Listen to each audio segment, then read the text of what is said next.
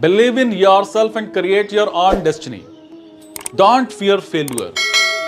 If you are unhappy, it's your fault. If you are broke, it's your fault. If you are unfit, it's your fault. Take responsibility, make changes. Get your basics right. Don't eat junk. Exercise daily. Sleep 8 hours. Meditate daily. Drink more water. Work on your goals daily. Stay away from toxic people. They told me I couldn't. They told me I wouldn't. They told me I shouldn't. That's why I will. That's why I am. That's why I did.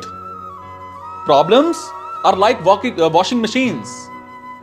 They twist us, spin us, and knock us around. But in the end, we also come out cleaner, brighter, or better. A bird sitting on a branch is not afraid even when the branch is shaking because it trusts not the branch but it's on wings. So, guys, believe in yourself. Surround yourself with people who have dream, who have desire, and who have ambition.